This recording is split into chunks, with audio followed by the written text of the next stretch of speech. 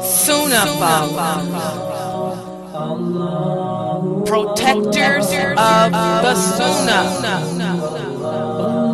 Sunnah Protectors of the Sunnah.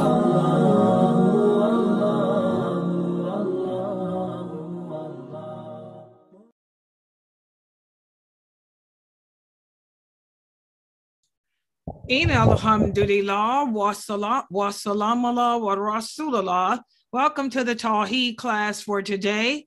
And we are studying uh, the names of Allah.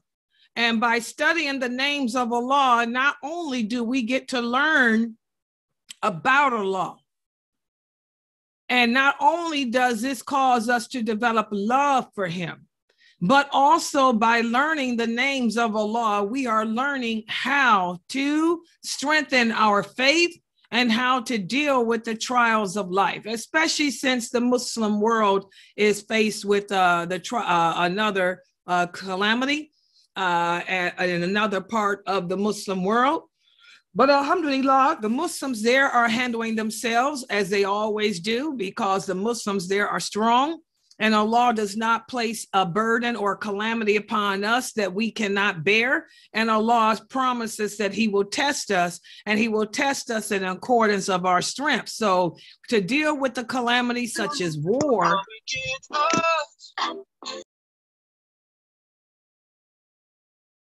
dealing with the calamity of war is one of the, the, the most uh, severe calamities of all to deal with.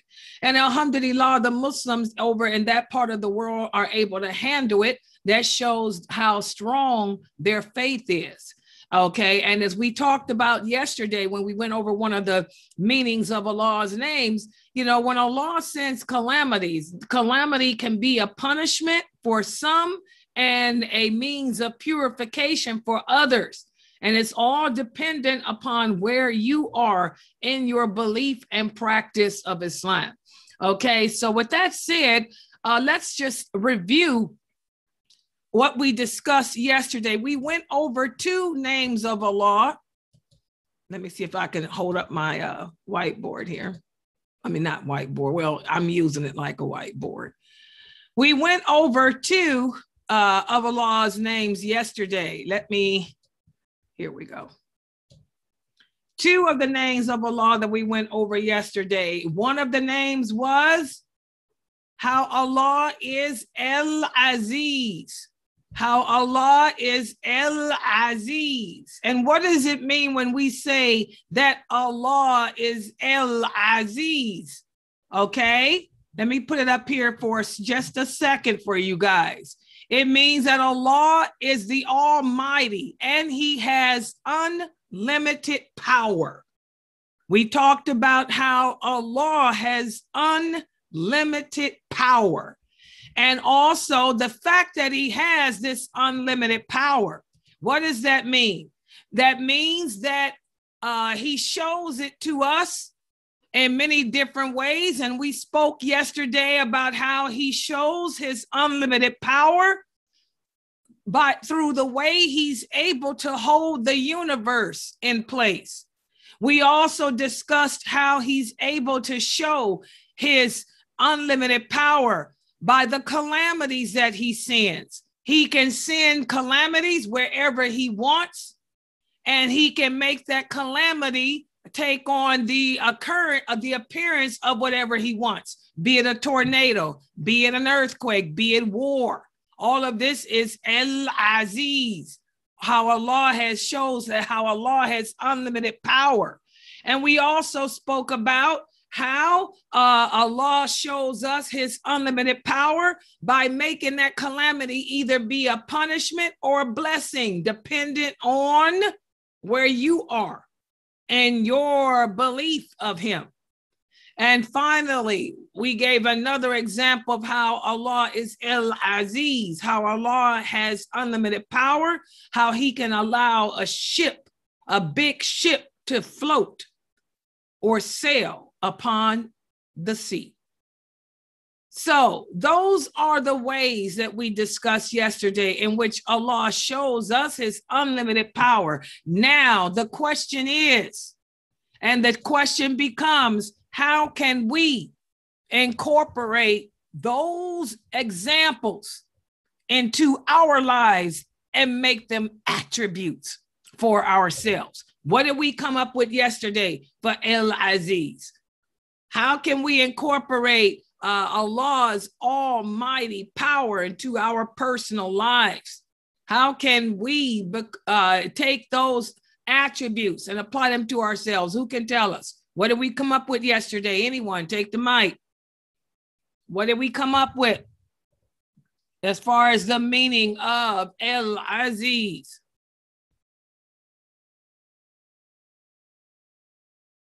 Anyone?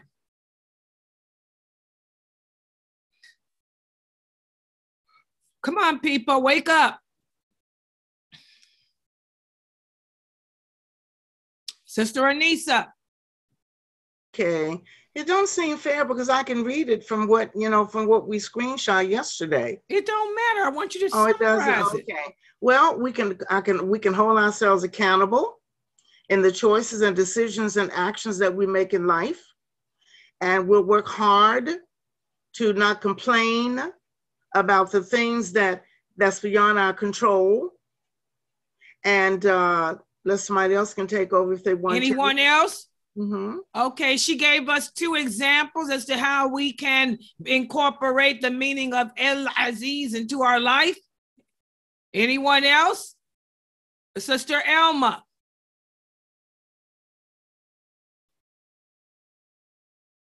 Sister Zarina.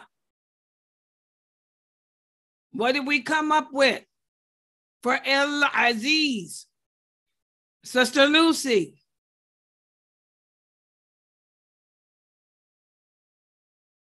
Sister um, um, um.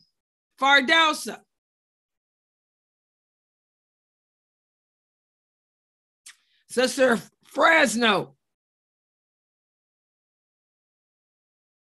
All right, you want to play with me, huh?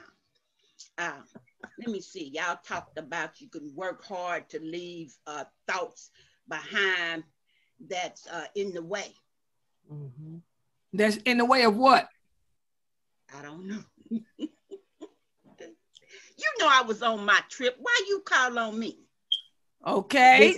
I'll help her. Get some of moving forward on our journey, especially after Ramadan. Now we've purged and cleansed ourselves, so we should be practicing what we have done during Ramadan, what we've learned, and only concentrate on that which will better us in our journey towards life. Exactly. Exactly. This is these are some of the things we came up with since Allah shows his unlimited power by through the way the universe operates and how calamities occur however and take the form of whatever he chooses and how those calamities can be blessings or punishments we hold our we can take that and incorporate into ourselves by holding ourselves accountable for the choices and decisions and actions we make.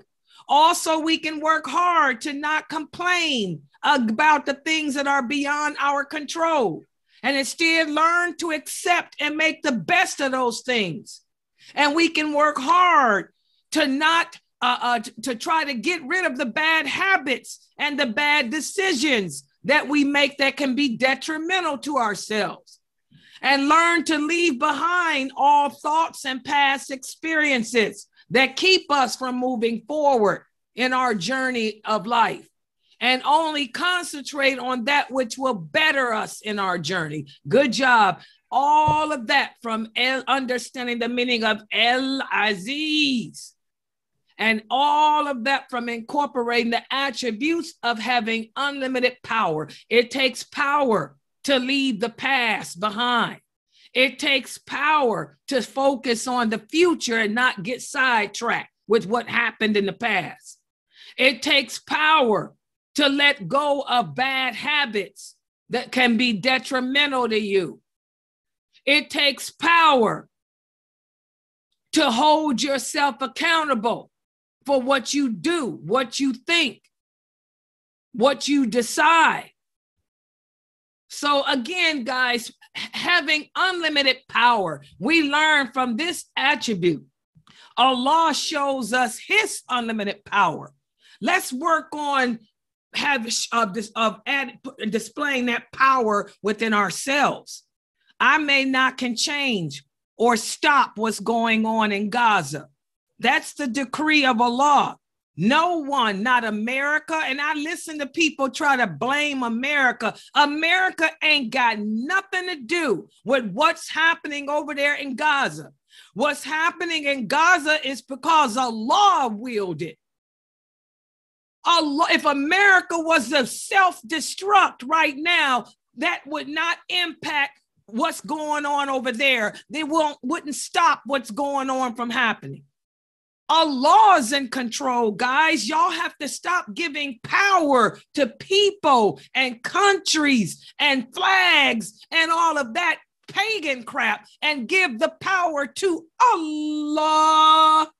I may not can stop it. I may not can change it, but I can make dua for the believers.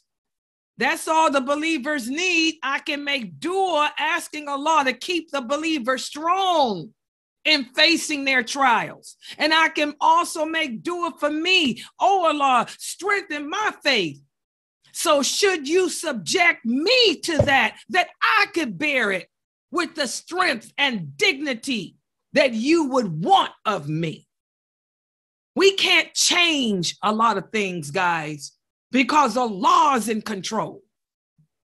But what we can do is make ourselves accept the fact that even if we can't stop or change it, we can make the most and the best out of it. We need to learn how to take a lemon and make lemonade. When life, when Allah throws you a lemon, you turn it into a nice, beautiful drink. That's what the people in Gaza do every day. They make lemonade out of lemons every day. Could you do the same? I don't think so. All right. Then, then also another name that we talked about yesterday is how Allah is El Jabbar. El, El Jabbar. El Jabbar. What does that mean? That means he is the compeller. He is the restorer. That means that he is the one who drives, forces, and returns things back to its former state. Only Allah can drive or force or return something to its former condition. Only Allah can stop what's going on in Jerusalem and restore it and return it to its former condition. If you truly believe that the land belongs to the Arabs over there, then only Allah can drive it, force it, or return it to that back to who you think it belongs to. Okay? Not America, not you. So, Allah shows us how He is the compeller, how He is the one who drives, forces, and returns back by the fact that look at how something dies. When something dies in this world, it decomposes and it returns back to its former state of dirt. We were all created from dirt and we go back to that state. Also, look at how a child can b- go from being an infant and grow up to become an old person. Look at how Allah shows us that only He is able to cause us to overcome the trials of life and become stronger. Look at how and all this is a daily occurrence what's going on over there in Jerusalem and that part of the world. This is a daily occurrence for those people. And all it does is make them stronger. That's why they try their trials get more severe. It's a sign of their faith it just makes them stronger. That strength comes from Allah. Only He is the one that can change you to something better. And also, he shows us how he is El Jabbar by how he can cause you to go from rich to poor, from sweet to sour, from good to evil. And also, he shows us how he is the restorer by how he brings some of us into Islam and he takes others out of it. He strengthens the people in Gaza. Wow, the people here in the West become weaker and weaker and weaker. Hello, goodbye. So now, how can we incorporate those attributes of Allah into ourselves? How can we take that name, El Jabbar, and make it attributes within ourselves? What did we come up with yesterday? Who can tell us? What did we come up with yesterday, Sister um, Latifa? What did we come up with yesterday, Latifa? You guys should have taken a screenshot. You don't just screenshot for Sister Pasha. Hello, take a screenshot. Hijab I'm wearing, you can get it from Pasha. Okay. Fast track fashions. Okay, go ahead, Fresno. Okay, you said uh, uh, how does uh, how does he show this power? Is we already know how he shows it. How can you take the, the uh, take the meaning of Allah's name, the compeller, the restorer, and take it and make it attributes within yourself? Oh, shoot, I shouldn't have clicked on this. Um. Okay. I just gave you exam- the examples we came up with yesterday on how he shows us. Okay, you said something about how he how how he make you go back to dirt and then bring Right. you back alive, right? Right, that's one of the ways he shows us. Okay, so how could I do that? Bring- Yeah, what did we come up with for yesterday? I think well, um, I took a screenshot to say I would not attach myself too much to anything. There you go. world. Right, right. So I won't attach myself too much. Allah shows us how He can cause the body to decompose and return back to its original state of dirt. How can you incorporate that into yourself? Well, I'm not going to attach myself too much to anything here in this world because I know that everything is temporary, just like and, and will fade away. Our bodies is temporary. This beauty I have is temporary. Eventually, my beauty will disappear. It's disappearing now. Thank you, makeup. You know, hello. Everything will eventually fade away. So I'm not going to attach myself too much to anything here. We, we talked about that in our hadith class yesterday. One of the advices that the prophet gave to the companions were if you want to earn the love of Allah and the love of the people, do be indifferent. Remember that hadith yesterday? Be indifferent to this world. So I'm going to remain indifferent because nothing here lasts forever.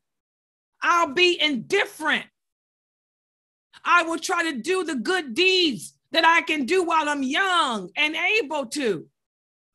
Because eventually I'm going to become old and unable. Also, we talked about how Allah giveth and taketh away. How Allah will, can cause us to, to grow to something better. Like for many people, like the people of Gaza, the trials they incur cause them to become stronger. So I'm going to learn from that when I'm faced with any type of hardship in life. I'm going to first of all call upon Allah for help in dealing with it. And I'm going to humble myself and not look down on others. I'm going to humble myself and accept the fact that the only way I can grow from this hardship is through the help of Allah. Because if I don't have His help, I could crumble. I could be like a lot of those people that you see on TV here in America holding rallies for Palestine. The women don't have hijabs on. The men got cigarettes hanging out their mouth. Or the women got little mammy rags of a flag tied around their head, but they got their breasts exposed. And you want to reach, you fighting for free Palestine, you better free yourself. Free yourself, because women in Palestine don't walk around like that. The women in Gaza are covered in, hij- in, in jilbab and hijab when they leave their homes. They ain't sitting on the streets with their bodies exposed like prostitutes, holding up banners. Okay? The people of Gaza understand that after every hardship comes ease because Allah is the compeller. He's the one that can drive, force, and return you to another state. The people of Gaza know that they're going through hell right now, but it's just temporary. That's why they say, Sister Layla, tell the people on Sunnah followers to just make dua for us. And yes, I have people in Palestine that follow this website. You guys remember Brother Zaman? Brother Zaman. Zaman left Brentwood, California, and he moved back home to Palestine. And what does Brother Zaman say? Just make dua for us, Sister Layla. We love y'all. You know, pray for us. We can handle it. The people here are strong. These are the most strongest Muslims you will ever come upon. Just make dua. That's all we need is you do it and have a good day tomorrow. That's their attitude. And have a good day tomorrow. Okay, so those are the two names that we discussed yesterday. And so today, what I'm going to do is put another name. Let's look at another name of Allah. And this time, I want to see how well you guys do today. Uh, Sister Amina Fresno, we're going to start with you today since you know your Eid is over, you had a nice Eid. Alhamdulillah, Sister uh, Fresno. I'm glad that you and the family had fun, but now it's back to the to, to the drawing board here. Today, we're going to start off with another name of Allah. El. Let's look at it in Arabic. Fresno. El Mut El Mutak El Mutak Kabir. You guys see that? El Mutak Kabir. Shada. Sister Amina Fresno. Shada over the back. Duma on the mo on the mean. Sakoon here. El Mutakabun. Not boon. It's right here. Kisra. So not boon. El Mutakabir. El Mutakabir. Shadow on the back. El Mutakabir. See that? El Mutakabir. You got it, Fresno? Let me hear you pronounce it. I mean, the Fresno. Yeah, I see the two B's. Okay, okay let me hear you pronounce it. El Mutak. No, t- not talk. This and not ta, it's ta. Oh, ta. You gonna okay, don't change so the meaning. If you guys okay. don't pronounce those vowels right, you change the meaning. This is fusha. Fusha is not a bunch of spitting and guttural clucking. It's beautiful. Pronounce it, Fresno. Okay, el mu ta el ta el mu ta kabir. There you go. Exactly. El mu El Mutakabir. El Mutakabir. Everybody got that? Beautiful name. What does it mean? In English, it means the supreme and majestic.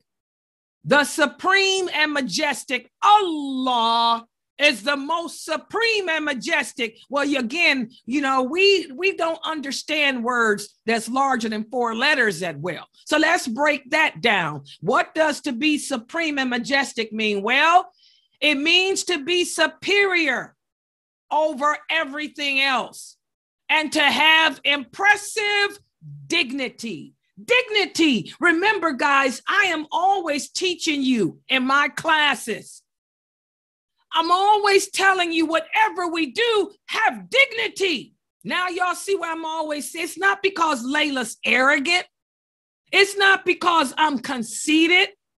I am a daya and I teach Tawheed because Tawheed is the essence of Islam. And Allah demands that whatever we do in life, we do it with dignity. Without dignity, you corrupt whatever you do. If you want to cry, cry with dignity.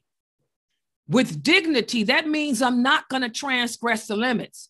If I want to cry, I'm not going to slap my face and scream, Why me? No, I'm going to have dignity. I'm going to do like the Prophet, sallallahu alaihi wasallam, the tears may come. The tears may come, and I may do a little, you know, a little noise, but it's with dignity. When I dress, I want to look dignified. I want to be covered beautifully and be dignified even in the way I dress. When I walk, walk with dignity. When I eat, eat with dignity.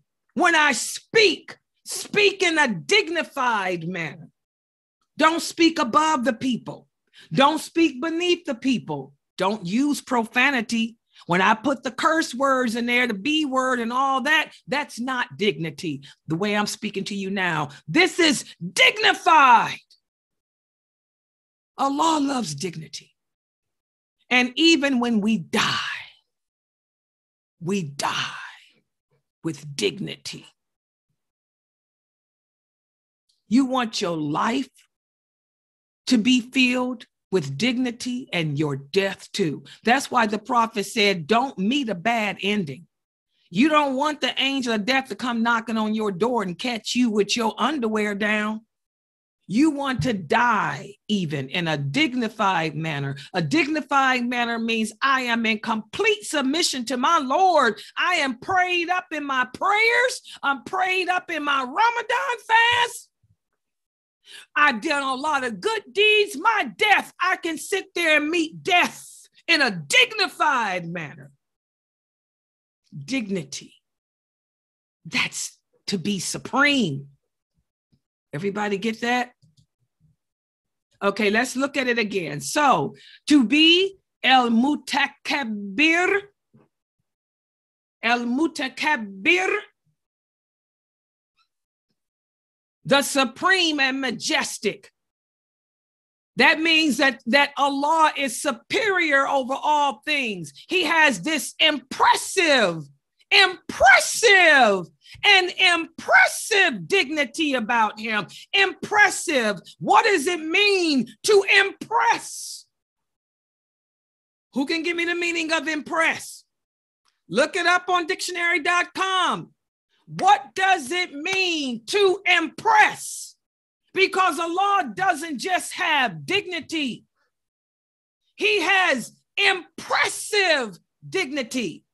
What does it mean to be impressive? Somebody give me the answer. Read it on it. Read it. Take the mic and read the word, the meaning of the word in English. Impressive. It means to make someone feel admiration and respect. Hello! Allah's dignity is so great that you cannot help but to have respect and awe of him. He's so dignified. He leaves you with your mouth. Oh. You know how they say, I dropped the mic. Allah drops the mic every time. That's how dignified he is. Ponder that. Can you imagine that? Ponder that. I am superior to all or others. What does it mean to be superior? Give me the meaning of superior. Someone look it up on dictionary.com. I want to break these words down so there's no doubt. What does it mean? Read it. to be superior to all others. What is the meaning of superior? Assalamu alaikum. Walaikum salam. To be um, like higher in rank or higher up. Allah is so high, and He doesn't have to take drugs to get high. You know, I had this conversation earlier with somebody, my granddaughter. I told her, say no to drugs. Because I was listening to her talk on the phone to one of her little friends. And her little friend, I think, was telling her, yeah, somebody was was eating edibles. I'm like, what the heck is edible? They got some new food? Our granddaughter say that's some type of drugs, mom. Kids eat these things made out of marijuana called edibles and get high. I said, what? She said, oh, come on, mom. Everybody does that. I said, oh, no, everybody don't. Layla Nashiba ain't never heard of it, never did it. I said, ain't none of my girls, my bantus ain't doing that crap on my website. I said, ain't nobody I know sitting around eating no drugs.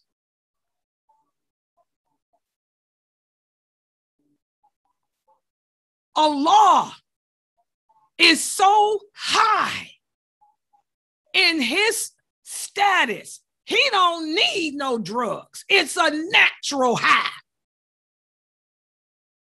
He's so superior over others. Something that the youth today probably can't imagine because the youth today probably think that in order to be superior, you got to get high. I don't know what kids think nowadays. Thank God I ain't got none. A child just ain't safe in this world today. But Allah is superior to all things and all others. That means he's higher in his rank, higher in his status, higher in his mannerisms, higher in his character. And his character his mannerisms is so much above ours that you are impressed by it. You can't help but be in awe of him. You cannot help but have respect for him due to the dignity in which he carries himself because of his good character, his good mannerisms, his good behavior. You guys see that? I'm giving y'all examples how to apply it.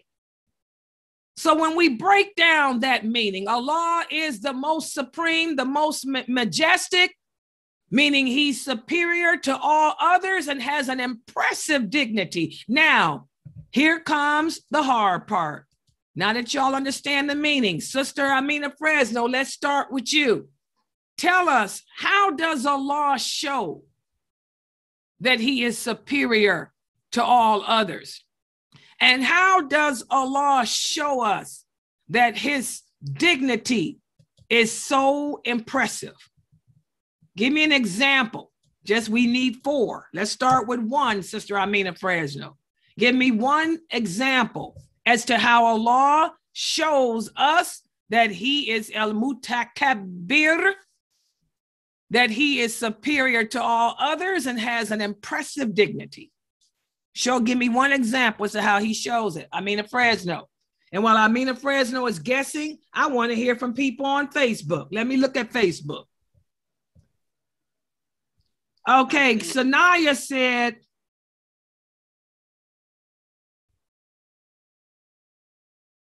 Okay, I missed y'all other answers. I don't know why I have to I don't see y'all answers until later on Facebook. I had to log out and log back in. Okay. Zarina, Sanaya, Sister Sauda, give me an example as to how Allah shows us that He is superior to all others and how He has an impressive dignity. Sister Zarina, Sister Sanaya, and Sister Sauda. And let me bring that laptop of mine in here. That way I can see y'all writing better. Jayla, let me get my granddaughter to bring me that laptop because I don't know why the phone I have to log out to see. I'm just going to say this by saying be and it is. Wait a is minute. That another creation. Let me type for this little kid to bring me my laptop because I want to see Facebook answer. This is a very important name. Wait a minute. Hold on. Where's my Facebook stuff now? Okay. Allah is superior to all others and has an impressive dignity. How did you, how does he show that to us? By What did you say? be and- I said by saying be and it is. Can't nobody else do that. That's true. But can't you do better than that? Girl, that's as best as good as it can get right now. Okay. Amina said the fact that he can say be and it becomes. Okay. That's impressive. But remember, then that does show that he's superior to all others because no one else can do this. None else, that's good, Fresno, can do this. Good job. Give me another one. Go ahead, Precious. Assalamu alaikum. Walaikum Um, salam. Al Mutakabir. Uh, I would say that Allah shows us this because no one is above him, near him, That's another name. beside. Okay. No, that's a different name. Try not to get into any of his other names and attributes. Let me log out on Facebook. I definitely have to see Facebook. Let me log out and see. Jayla, bring me the laptop. Um, Okay, let's me look at what they wrote here. Zarina said, How Allah is the supreme, the majestic, superior to all others, and has an impressive dignity. How does he show that to us? How does he show his superiority and his impressive dignity to us? Sanaya said, No, that's not how. She said, By sitting on his throne. No, you can't even see him on his throne, Sanaya. How does Allah show us his impressive dignity? You can't see him. Zarina.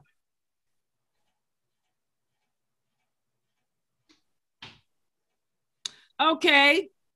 Zarina said the fact that nothing happens without Allah's permiss- permission. I really want y'all to get better than that. Um, let me let me try. okay, go ahead. Go Okay. ahead. Uh, in designing the universe, designing his creatures, specifics, the delicacy, Why come y'all always take it to the creation? because it's so magnificent. But no, but that's not a that's a different name. Y'all got to understand that every name it does not mean to create. We broke down the meaning of supreme. We broke down the meaning of impressive and dignity. It has nothing to do with creating. So no, we're not going to use creating. That's a cop out. That's an easy way. And no, y'all are better than that because uh look, what is the meaning? Read the meaning of impressive dignity. And tell me how does that relate to creation?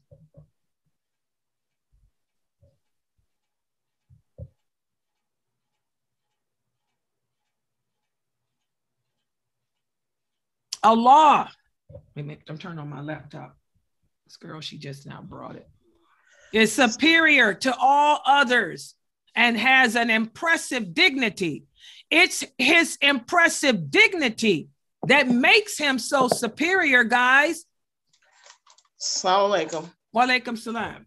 Uh, let's try this. Would it be that he is the best of the best and that uh, only the best is surround him? Something like that? Okay, No. let me okay, let me hold let me on screen share. This is wait a minute. Like I told y'all, it's gonna get more difficult as we do these Yeah. things. Let me, I have to, I can't screen sh- share and do Uh-huh. this, but I'm a I'm gonna open up my screen. Let me Yeah. hold on. All right, can y'all still see my screen? It's gonna be hard to do. Okay, hold on. I'm gonna share my screen, the whole screen, and I'm gonna go to dictionary.com. Okay. I want to try one more time. that's Wait a minute, let me let me do this first because I Okay. hold on, just okay. When we do the names, I can't get rid of that of Allah.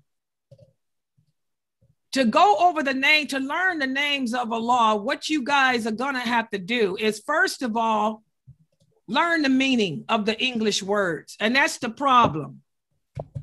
We got impressive dignity. He has an impressive dignity. Type in Google the meaning. What does it mean to have impressive dignity? What does it mean to have an impressive dignity? Here it is. You go to dictionary.com. Ah, this one ain't gonna get it. Uh, What is impressive dignity? I'm trying to, you know, here we go. I'm trying to find a good dictionary. Okay.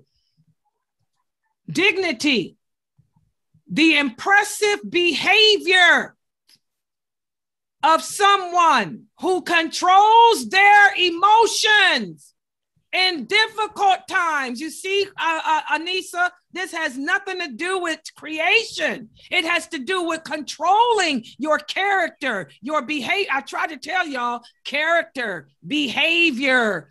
What makes a loss higher and superior over others? The way he, his, his character, his behavior, his mannerisms. That's not creation. Okay. Y'all understand? The key words here would be dignity, impressive, and superior. Dignity is behavior. Dignity refers to how a person behaves. Maintain, retain your dignity. It's hard for us to maintain our dignity, especially in the face of a calamity. We transgress the limits. It's hard for us to maintain dignity in good times and bad. Allah does that. Okay. Dignity is the key word. Also, impressive. What does impressive mean? You admire it. So we admire Allah. We can't help but respect him for the dignity that he has, the great skills he has. You guys see, this is not creation. And what's the other word? Supreme. You see, when you, you break down Allah's names, you look for the key words. Supreme means most important, most powerful. So when we look at the attributes of Allah, this is so hard for me to work these screens and do all this. Let me try this again. The key word, El Mutakabir, Allah is the supreme majestic. It means superior to all others, having impressive dignity. What are the key words here? Superior, impressive, dignity. That has nothing to do with creation. That has to do with manners. That has to do with character. That has to do with behavior. So now, how does Allah show us this? Okay, he can say be and it becomes. Good job, mm-hmm. President. Give me another way, guys, in which Allah shows that he's superior to all others and has impressive dignity. This has nothing to do with creation, it has to do with manners, character, behavior. Salams. He's oh, Go ahead. um he showed great dignity when um when Shaitan disobeyed him. He didn't yell at him or anything. He just showed him that he was greater than he was. Okay, how did he show him? You're on the right path, but tell me how he showed him. He explained to him that he is above him, and if he had asked him to do something, he was supposed to do it, not question his um his command. Okay, hold on for a second. Let me. I'm logging on Facebook with my laptop so I can see the people on Facebook better. Okay. Hold on. I tell you, I'm working three computers now, and this is hard. And got a screen share. Okay, let me turn the sound off here so I can hear. Okay, now people on Facebook, I okay, I see Sharice. She said Allah is supreme because there's no one like him in power. Okay, Sharice, we talked about power yesterday. Power is, is not the attribute today. The attribute today is how Allah is superior to all others and has an impressive dignity. So your answer is wrong. Get one of the kids the answer. They'll tell you. Okay, Sister uh, Norto, you said Allah controls the dominion. That is a different attribute. That was yesterday. We're talking about how he has an impressive dignity. how he proves he's superior to all others through his impressive dignity. We ain't talking about the power, we talking about the dignity today. Sister Laylee, you said king of the king. King of the king has nothing to do with today's topic. Mm. Facebook is completely lost. Okay, now Latifa, let's see. You're a teacher. I didn't really hear you because I was trying to log in. Give me an example as to how Allah shows that He is superior over all others and has an impressive dignity. Okay. Um, I was saying because he's the best at how he handles or delivers his wrath or his or his wrath or his punishment or his goodness. There you go. It all relates to behavior, guys, behavior or character. The way Allah delivers his punishment. Even when Allah punishes, he does it with dignity. He allows some to survive and others not to. He could send a tornado. That tornado can take out maybe just two people and the rest survive. Oh, That's impressive. How did you do that? You could be in a car accident. You can be riding a car with three people. The car crashes. Everybody dies except one. That's impressive. You guys see that? The way Allah delivers his punishment. It's impressive. Okay? The way he and the way he sends his his reward. The way he sends his reward is also impressive. Y'all see that? The way Allah delivers his punishment is impressive. And the way he sends his reward is also impress- uh, impressive. Give me an example of an impressive way of receiving his reward, of, of sending his reward. Give me an impressive way that Allah can send reward.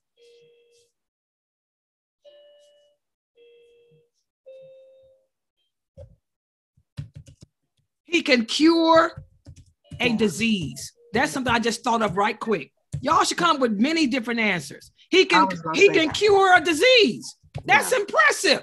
Yes. You can be diagnosed with cancer. The doctor can tell you that you're knocking on death's door, then, then a week later, oh my God, it just went away, or it's, it's starting to uh to to, uh, to break itself up. Look at uh what happened with Antar. Her whole legs filled with with blood clots, and all of a sudden the blood clots are two weeks later they're gone. That's impressive. That's impressive dignity. Impressive dignity. So the way Allah delivers his punishment is an impressive dignity. He does it all with impressive dignity. And the way he sends his reward is also an example of his impressive dignity. Good job, Latifa. Anybody else? Give me a third example. Sound like I was just about to say that, Layla, about how he was impressive for me. You know, you said it. Oh, exactly. Exactly. Let's see what else we got on Facebook. Uh, Brother Melvin. Allah revealed to us good manners and good character through our Prophet Muhammad. Okay, exact. That's another way. The fact that Allah sent the Prophet Muhammad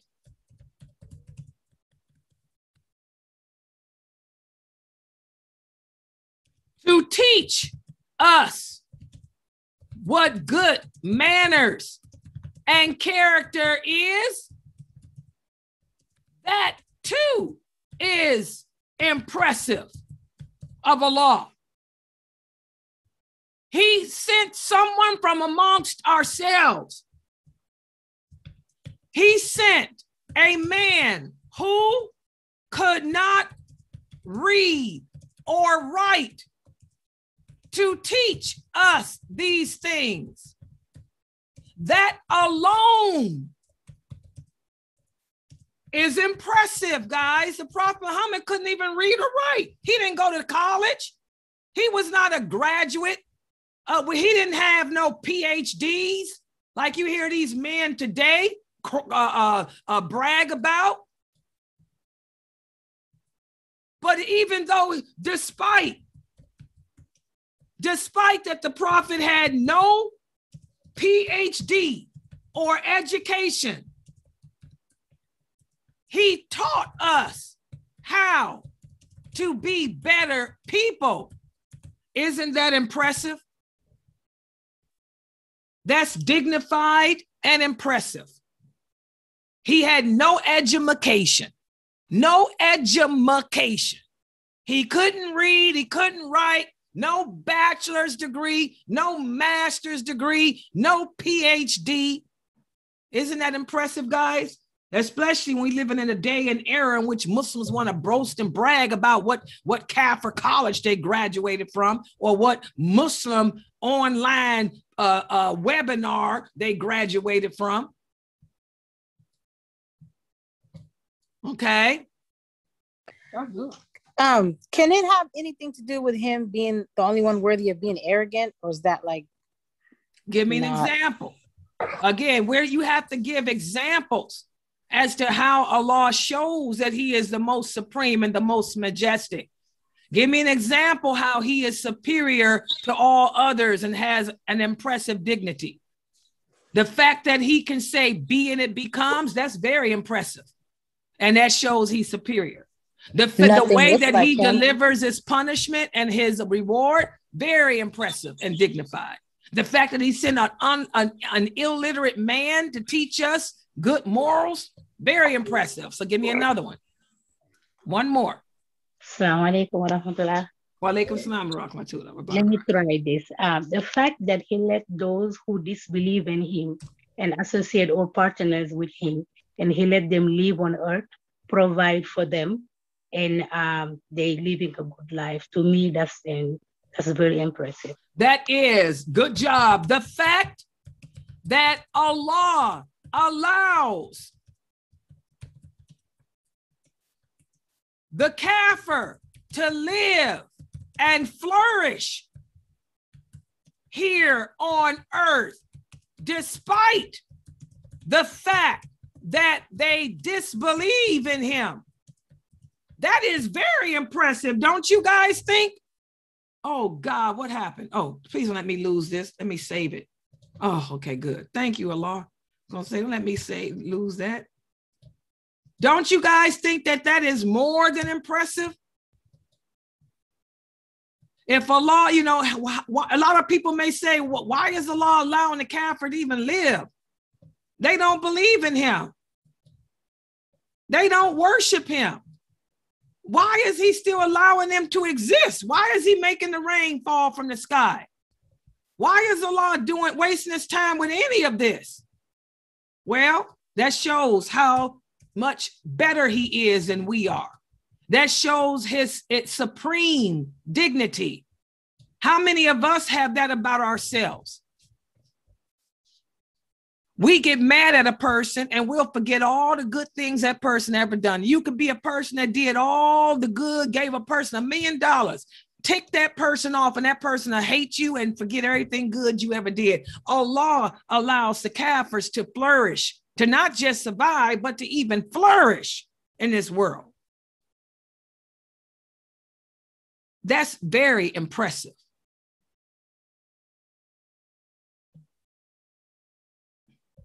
Okay, let's see what Zarina wrote. Zarina said she's impressed by all of Allah's create. Okay, again, uh, Sister Zarina, that's creation.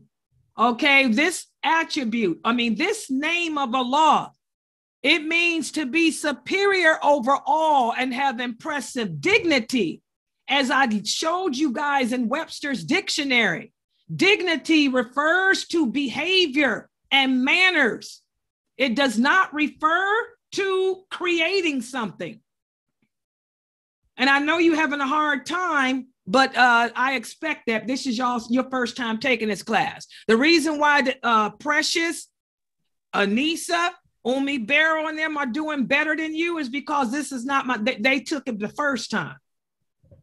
For those of you on your first time ever being taught this way, it's going to be very difficult.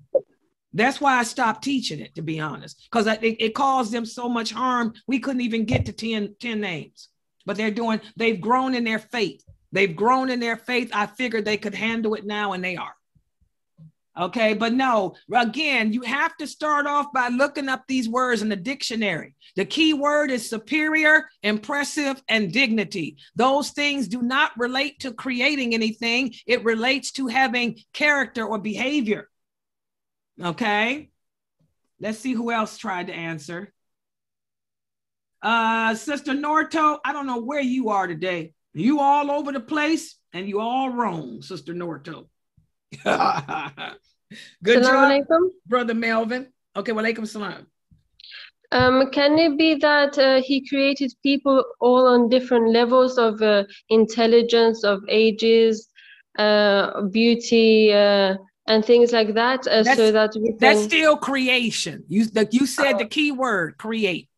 If if y'all have the name create in your answer, you know you got a different word, a different name. In fact, that's the next name we're going to do. The create to all those things y'all talking about creation that applies, but this is behavior. Behavior. El mutakab el mutakabir. El mutakabir. El mutakabir means the, the supreme and majestic. To be supreme means to be superior to all others. Majestic means to have impressive dignity, impressive behavior. Majestic refers to having impressive behavior. Supreme refers to being superior over others. This is not creation.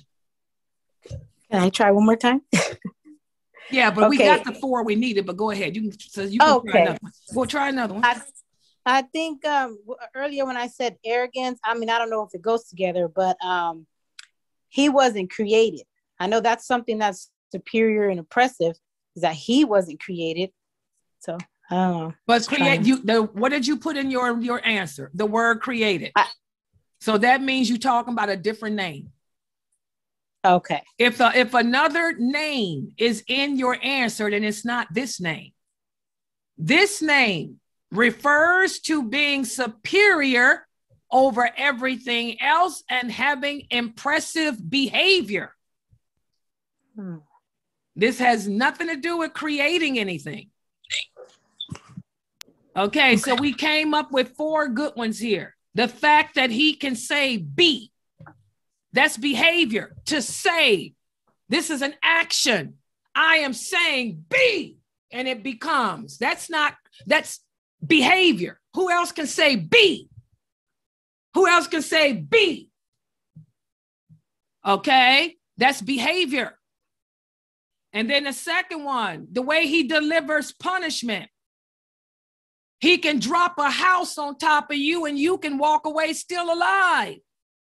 That's behavior. I dropped. That's an action verb. I dropped. I talk. I drop. Behavior is action, action, action. I can drop something and you walk away alive. That's impressive. Okay. The third example the Prophet Muhammad.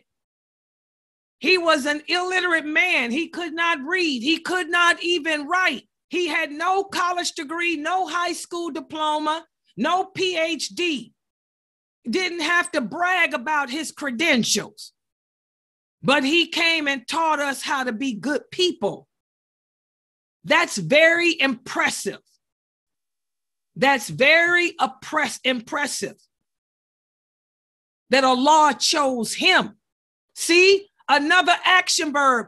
I choose. I choose him. The Allah chose him. The fact that Allah chose the Prophet Muhammad to carry out his message That was impressive because the prophet could have uh, uh, uh, made it be Abu Sufyan, who was educated. He could have chose Abu Bakr. Abu Bakr was educated. He could have chose uh, uh, Umar. Umar was educated, but he didn't choose any of them. He decided to choose the uneducated one. Y'all get it? He could have chose Uthman. Uthman was educated too. But he didn't choose them to carry his message. He chose the uneducated one. That's impressive, ain't it?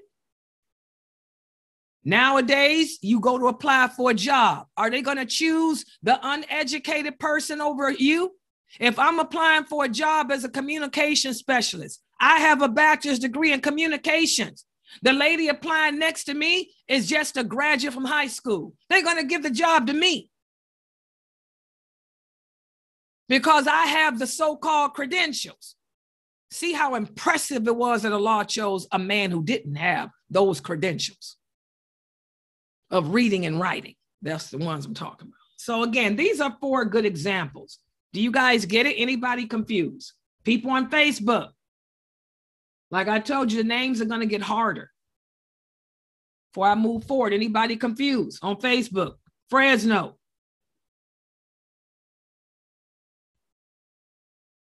My confusion is coming on how to how I'm supposed to.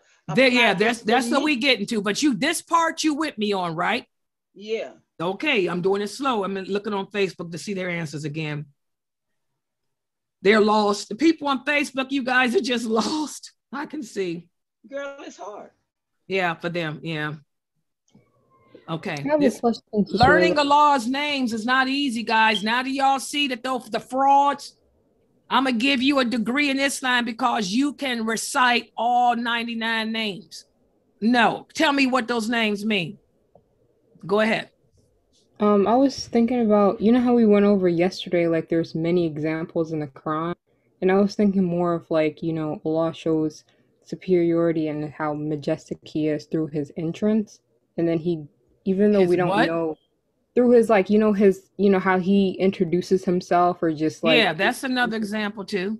and I was gonna say, what about the example where Allah like describes how He'll like enter, you know, how He'll do the whole, you know, day of judgment thing and how That's what I would have came up. That's one of the answers I would have given. But there's so yeah, that's true too. There's so many answers. There, you know, there's so many millions of ways that Allah shows us His names. I'm just taking the first four that y'all gave me, but that could have been an answer too. These are the four that y'all gave today. But I could come up with about a million more. But these are good. Your answers were right. Yeah, these are the first four. Okay, now here comes the hard part, as Amina Fresno says. It gets even harder. Let me fix this screen.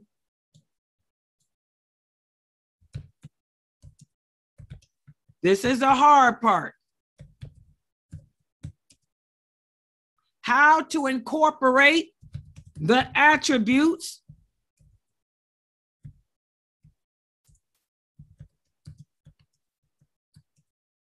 of this name.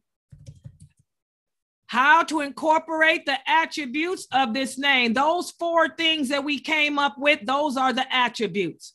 We came up with four attributes of El Mutakabbir. That we came up with four attributes of El Mutakabbir. One attribute is Allah can say be and it becomes. Another attribute is the way he delivers his punishment and reward with impressive dignity. Another attribute is the fact the way he sent an uneducated man to teach us good manners. And the other attribute you came up with is how Allah allows the unbelievers to live and flourish despite the fact that they hate him or don't even believe in him. Good job. Those are the four attributes y'all came up with for today. So now what we're going to do is take those four attributes and tell me how you can incorporate them into yourself. Amina Fresno, let's let you let's have you start with the first one. You came up with how Allah can say be and it becomes. How can you incorporate that into yourself? You can't make something become, but what No. can you do? I can go to him to help me. Mashallah. I can call upon Allah to help me in becoming what I want to become in life. Good job. See how easy that was, Fresno? No, no. you know, no. you're not aware. I'm gonna tell you something. I mean, you're one of the strongest Muslim women I have ever met in my life. You deal with trials every day. And the reason how you get through your trials is because you utilize the names and attributes of Allah every day in your life, and you ain't even aware that you do it. That's because you are a true believer and it comes natural for you. Just like you spitted this answer out that quick. You're not even aware that you are already living Allah's names and attributes because you're a believer. That's one of the signs of a believer. You just gave this answer and don't even anywhere. You gave answer. How can you uh, attribute the fact that Allah can say be and it become? Well, I can't create and make nothing become, but I can call upon Allah and ask Him to help me, to help me to be whatever I want to be, to help me to change the condition of myself to something better. Mashallah. Good job, Fresno. Hello. Anybody else want to add to that answer? See how it comes easy for the believer? Walaikum salam. Who's next? Who is that? I was gonna ask, Okay. Um, when we, when we make dua, we should not say why it hasn't been answered yet. We should know that it will be answered whenever Allah says be, because that's when it's best for us. Okay, well, put it into yourself. Make it, you know what I mean? Make it an attribute. Put it in the form of an attribute uh, of how you can incorporate it. I will not like that. Okay, when I make dua, I should not be saying why it hasn't been answered yet, and know that it will be answered whenever Allah says it will be, because He knows when it's best for me. Okay, when calling upon help from Allah, I will never lose hope of his answer or mercy. That's what she's saying basically. Remember, we have to have hope of Allah's mercy.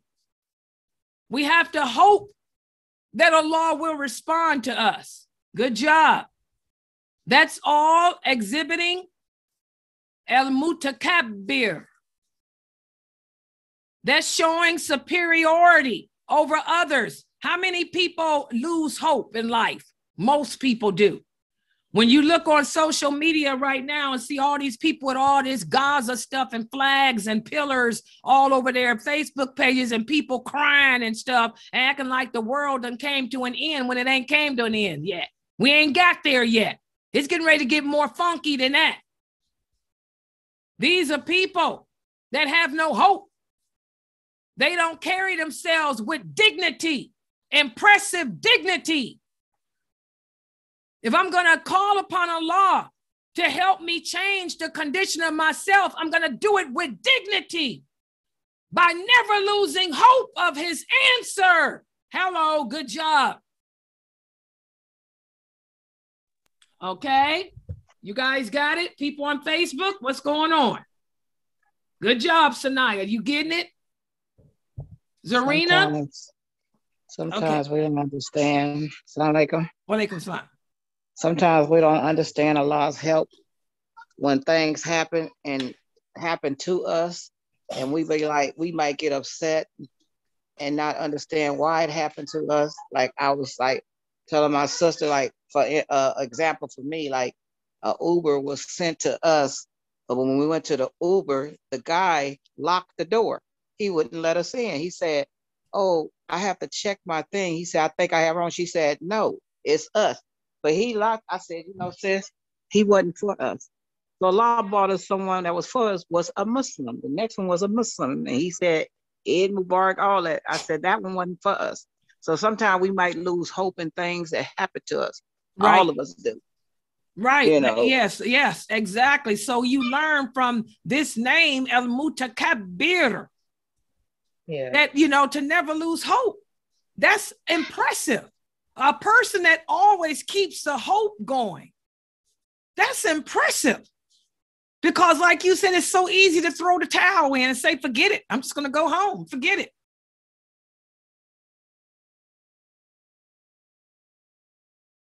Okay, let's look at the second part. The second one that you guys came up with, the second attribute of El Mutakabbir, you said the way Allah delivers his punishment and his reward. He shows impressive dignity in the manner in which he delivers his punishment and reward. How can you incorporate that into yourself, guys? How can you incorporate the fact though of, as to how Allah, when he delivers punishment and reward, he does it in an impressive way. Fatima Qayyum said she can incorporate this by being grateful when he saves her and appreciative when he sends reward. Good job, Qayyum. Okay. We can be more grateful to Allah.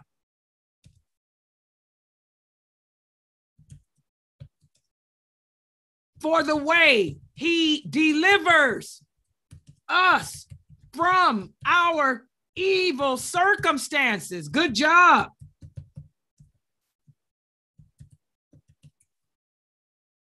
And more appreciative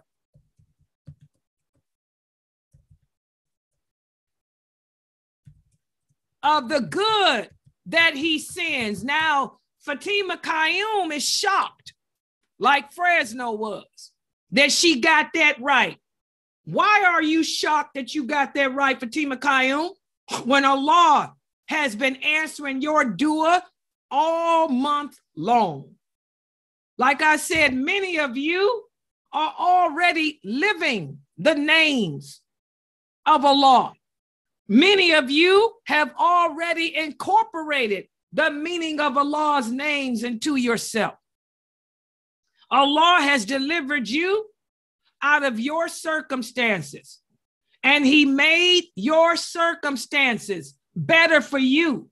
So, of course, you cannot help right now, Fatima of Qayyum, but to understand what El Mutakabbir means. You are living Allah's mutakabbir every day. You are a witness of his supreme and majesty because he has delivered you from your circumstances and changed them to something good. That's why you answered that one so well. Just like Amina Fresno answered the first one so well because y'all live in this attribute every day and not, not even aware of it. Okay, who else on that one? Anybody with any another example as to how to, uh, to implement uh, the second attribute, how Allah delivers his punishment and reward with impressive dignity. Wa alaikum salam. Who is that? We can be patient. Okay, Lucy. We can be patient. Like right now, I'm going through what I'm going through, and I have to be patient and I have to wait. I continue to pray, but I'll be patient and I wait on what I ask Him for. Okay, we can show patience.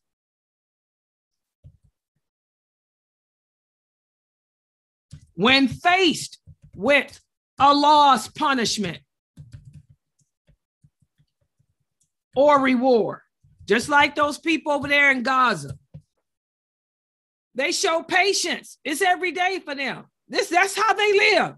That's their everyday life. Rockets going off, bombs exploding, people dying. This is part of their everyday life. They ain't got to turn the TVs on. They can go outside and watch the TV, watch the news. So they take it as they go. They're patient. They they're in acceptance. We can show patience when faced with Allah's punishment or reward, and acceptance of His decree, like the people in Gaza do. It's the people here in America that's acting like fools. It's the people here in the Western world that call themselves Palestinians. I'm gonna be honest. It's the people in the Western world that call themselves Palestinians as acting stupid. Not the real ones over there. They ain't acting stupid. In fact, they don't like the ones in America. They say them people make us look weak and stupid. Because we don't act that way. We don't scream, holler, cry, and tear off our clothes and, and go around damning everybody. We don't do that. We accept the qadr of Allah. We know that Allah is El Mutakabbir.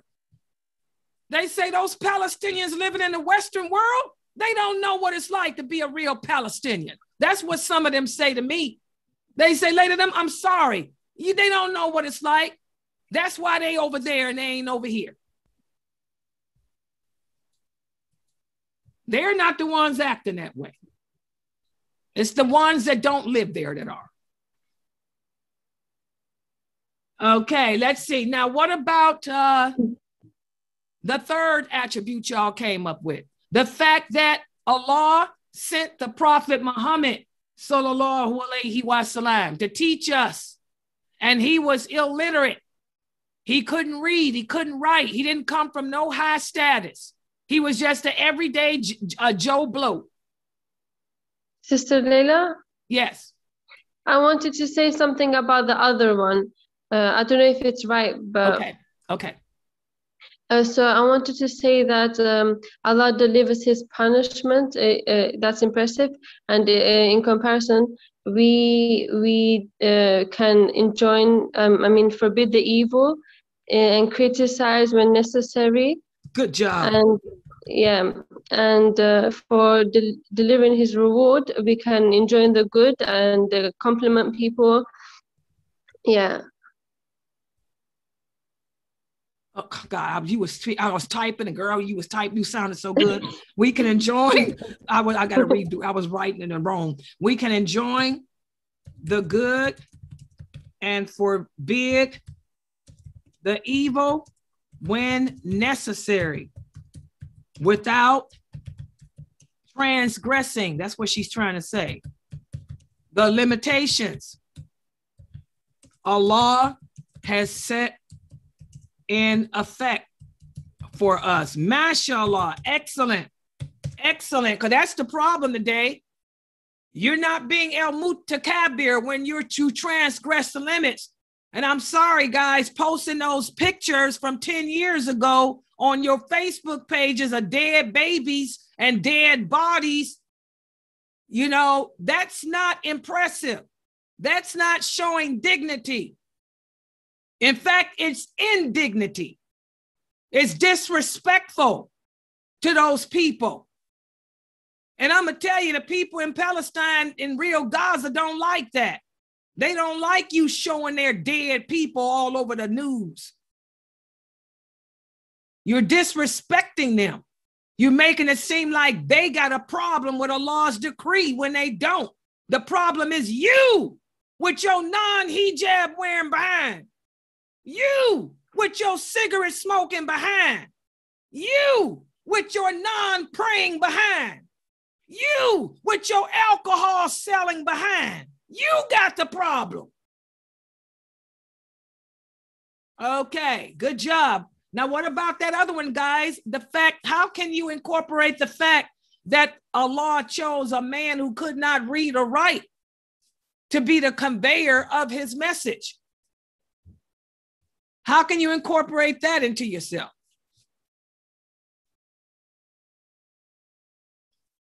Anyone? For this one, I was thinking more of like how, um, I don't know, like you should never judge a book by its cover. Like you cannot look at someone and say that they're a righteous or unrighteous person, or this, or they're a good or a bad person. Basically, just not judge a book by its cover. Good job. We will never judge a book by its cover. Taqwa is in the heart, and only Allah knows who has it.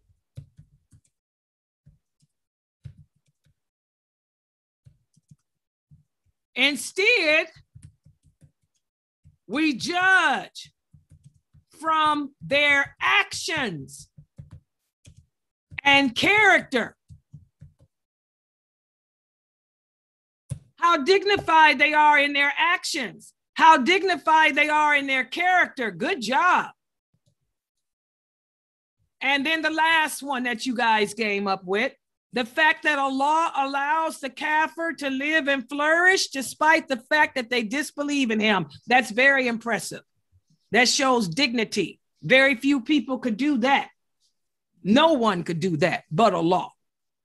Assalamu alaikum. Wa alaikum salam. Uh, inshallah, with that one, I would say that the fact that Allah allows them to live and flourish, we can at least live with them in peace here on, you know, in the world. I treat our neighbors kindly and things like that. Okay, we learn to live with others in kindness and respect, irregardless as to their personal beliefs, as long as they do not transgress us. Mashallah. Beautiful. Okay, y'all ready to read what y'all came up with as a way of understanding and incorporating the law's name, El Mutakabbir? Let's see. We talked about how Allah is most is the superior. He's more superior over anyone or anything else, and he has an impressive dignity. He shows this through the fact that he can say, be and it becomes. Also, he shows how impressive and dignified and majestic he is in the way he delivers his punishment and his reward. Also, the fact that he chose a man who was not of a high of a high status, who could not read or write to be, be the conveyor of his truth. This was also impressive dignity. And the fact that Allah allows the Kafirs to live and flourish here on earth, despite the fact that they disbelieve in Him. That's impressive. That's dignity. That's superiority. So, how can we incorporate this name, El Mutakabbir? Well, we can call upon Allah for help and ask Him to help us to become whatever it is we want to be in life. We can call upon Him and ask Him to help us to change the condition of ourselves into something better. And when we do call upon Him for help, we will never lose hope of His answer or mercy. And we will become more grateful to Him when He does deliver us from our evil circumstances and we will become more appreciative of the good that he sends to us. And we will show patience when faced with the law's punishments or reward. And we will accept his decree, whether it's good or bad.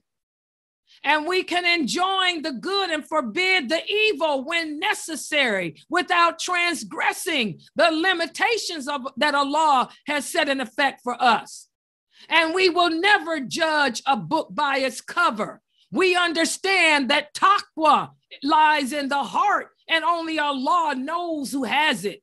Instead, we judge others from their actions and their character.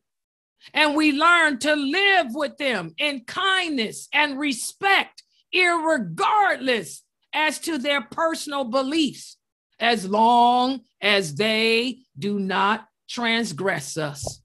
Mashallah. There it is. El Mutakabbir. El Mutakabbir. El Mutakabbir. The supreme and majestic. See what y'all came up with? It took us what, an hour, an hour and a half to do this one name. And that's the only name we're going to do today. because it's going to take another hour to do the other one. And I don't want to keep y'all here to nine. Any questions? Sister Amina Fresno, are you with us on this? I'm here. It wasn't that hard. It can't, it can't, it comes natural from you. You just not aware of it. Anybody else? Any comments?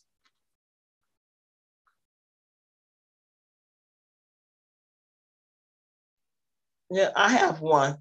Like uh, the the one about the fact that he sent us a prophet who uh, couldn't read. Would we in turn also look at ourselves and say we would study more and learn more about Exactly. And I'm looking at Fatima Qayyum's answer too. She said by not thinking that because of our education that we're better than others either. Your money, your family status and all of that doesn't make you better than someone. It's your belief in Allah. Good job. Yeah, both y'all are right. That could have been incorporated too. Because that's what you hear a lot a lot now. These famous Muslim speakers boasting and bragging about all these PhDs they got, and those PhDs don't mean nothing. They still stupid people. There's so many educated fools out there. Look at them. Listen to them. They sound crazy. You know, the things they say, all that education they have, and they still don't understand that Allah is the one in charge of what's happening in Gaza. Allah is the one in charge of what's happening. When I hear a Muslim blame America, you call yourself a believer and you want to put the blame on a country as to why something is happening on earth, then that t- shows me that you have a problem with Akida. You forgot what La ilaha illallah means. Allah is in control. We're just puppets of His. You don't like what's happening in the world, you need to get mad with Allah because that's His Qadr. He said, whatever good happens to us comes from him and whatever bad happens it we it comes from him too as a result of what we brought on ourselves so why are you sitting around pointing your finger at america and, and all these other countries Allah is in control. You can't accept the Qadr of Allah, then that means your, your belief system is messed up. Again, the prophet said every people has their pagans. Our pagans are those people who call themselves Muslims, but they cannot accept Allah's decree. They want to put that, put what happens in life on everybody, but the fact that we brought it on ourselves. A basic, that's basic Tawheed. Tawheed 101. All your PhDs, and you don't understand Tawheed 101. Come join my classes. I can take you there. Lady, Okay. Could you could you do something for me? Um, could you give us the word ahead of time so that maybe I can think better with this? You know what I'm saying? Instead Okay, tomorrow we're gonna do. Let me look at my PowerPoint. To, and don't make it hard. We're gonna do the easy one for y'all. El Khalik, El Khalik, the Creator. That's the one that y'all want to talk about so much, especially Anissa. Spell Carlet. It's on the screen. Oh, I don't see it. I want you to read in Arabic. El Qad. You see those I don't, I vowels? don't, I And don't see nothing but your El. face right Oh, now. I'm sorry. I don't. I didn't. I thought I was screen sharing. I, just- I thought I was screen sharing. El Khalik. El Khalik. Khalik. I want you to read it in Arabic. El Khalik. For those people out there that, that, that that's lies on Layla and say Layla don't don't want y'all to learn Arabic. No, I want y'all to learn the Quran. I tell y'all, forget about that that spitting slang. The Quran is not the spitting and all of that. It's beautiful. El Khalik. El Khalik. Learn how to read the Quran in, in, in, in Arabic. It's Fusha. And don't mispronounce it. Don't say, uh, don't, when you make a, a I, an R, you change the meaning of the word. Learn how to read the Quran properly. A lot of Arabic people do not pronounce the Quran properly. Instead of saying bad, they say ba. When you say ba instead of bear, you change the meaning. When you say tall instead of ta, you change the meaning.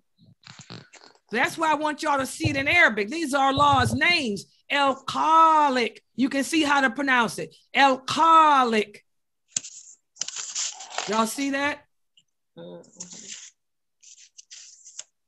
People going around lying on Sister Layla Nashiba. Don't lie on me. I don't care though. They've been lying on me since I was six years old. I don't care. Sick of people lying on me. Leave me alone. Go find somebody else's shoes to walk on. Okay, but this is name we're gonna do tomorrow. You know, El Khalik, the creator or the maker. Okay, any other questions? Um, Um, uh, Yeah. was that Norto? no, it was me, but you go ahead. Oh, okay. Um, I had a. Can you um screen share again, Sister Layla? Oh, I'm sorry. Um, I guess. uh, Well, can you go back to the um word before this one? And by the way, guys, uh, if you guys want to, because I don't have this on no uh, on no, no my website. If y'all want to take a picture of this or screenshot it so y'all can print it out, let me know and I can put you know put it on the screen like I am now. The word and y'all can take a picture of it on your cell phone and, and print it out or screenshot it and, and print it out.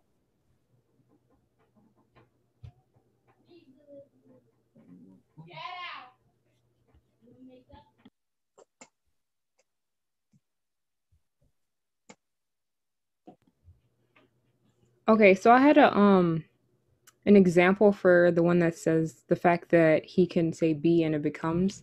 Can can we say that like um I guess I was gonna say like speaking your actions into existence, not just saying, oh, I want to become a better person, but you know, putting in the practice or just, you know, improving your characteristics, Yes. actually putting Yeah. in the work.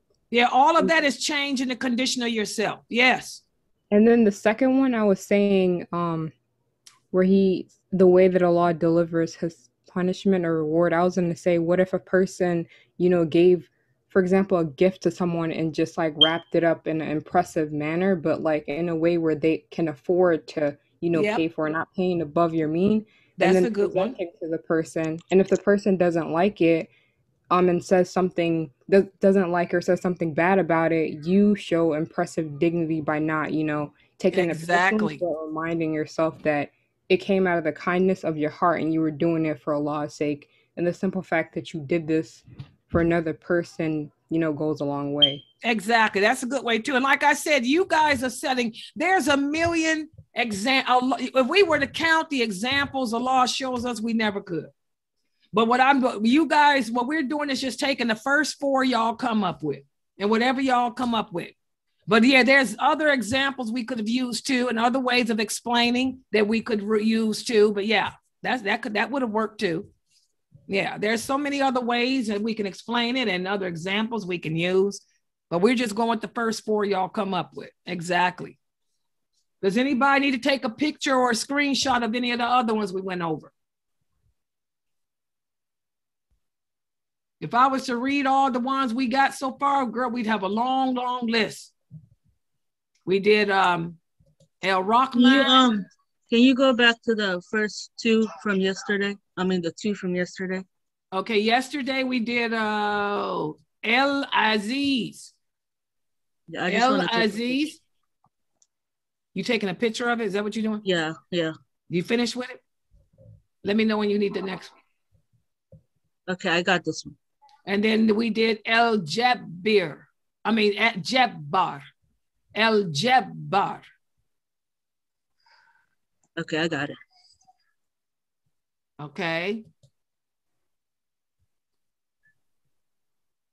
Let's do, I'm going to read what we came up with for the last three El Aziz, El Jabbar, and El Mutakabbir. How to apply those three.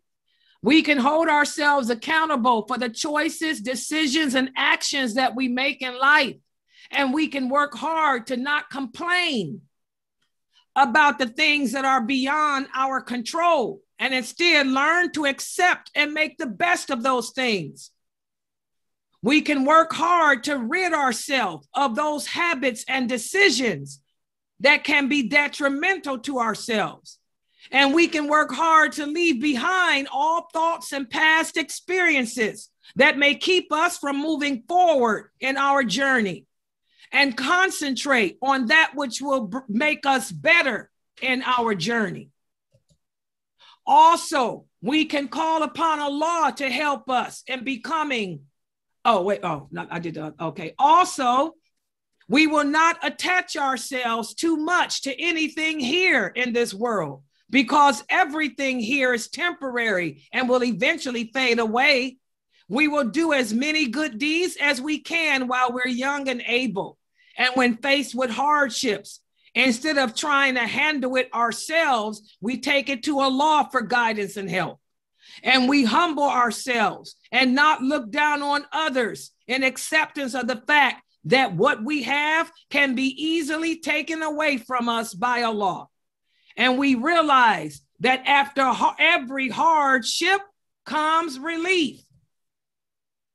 So we call upon Allah to help us to become what we need to become in life and to help us to change the condition of ourselves. When calling upon help, we never lose hope of his answer or mercy. And we become grateful to Allah for the way he delivers us from our evil circumstances. And we become more appreciative of the good that he sends to us. And we show patience when faced with his punishment or reward.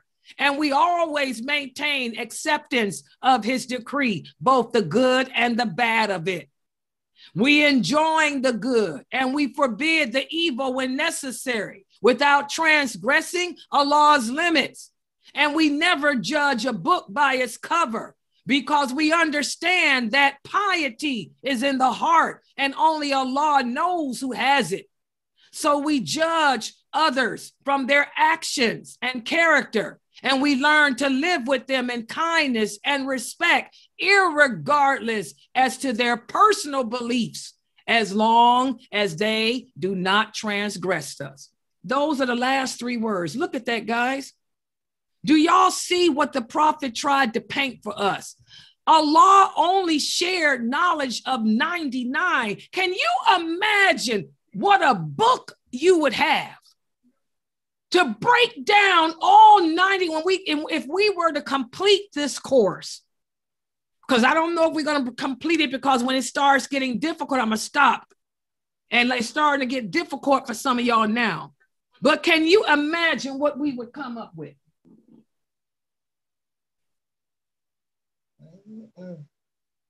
powerful that's tawheed you would be one of the strongest people. You would be able to stand and deal with life, the good and the bad of it, without transgressing a law or yourself. These are the people that will be in paradise. Like the prophet said, anyone who can put to action the names of Allah, that's a person of paradise. Just those three names I just read. Look what it would do to you. you know, we have a lot to work on as a nation, guys. I really, and it's a shame because we had some people give lectures today. I was looking on social media. There's a lot of people giving lectures on Palestine, on Gaza, on Jerusalem. I want y'all to look how many hits they got a thousand, one point K viewers. There's only 10 people listening to me on Facebook. And I only got 30 of y'all in here. Only 50 people will hear me. And what I got to say is better than anything that those other people are talking about. Because all those other people are talking about is nothing except stuff that will make you want to get angry and go out and hurt somebody. I'm teaching you how to handle it, but I only have 50 people at the most. They got a thousand, two thousand, one point K views and all I got is 50. If I get 50, I usually just have 20.